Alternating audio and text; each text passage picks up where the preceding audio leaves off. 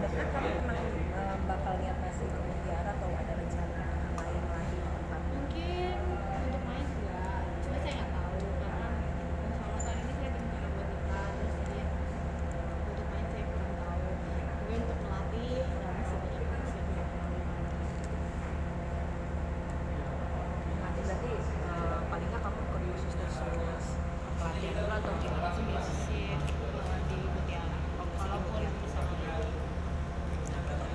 Nanti nggak ada nggak ada rencana misalnya habis kita lanjut gitu main profesional gitu. masih belum tahu kan kita nggak tahu nanti. Jalan ceritanya.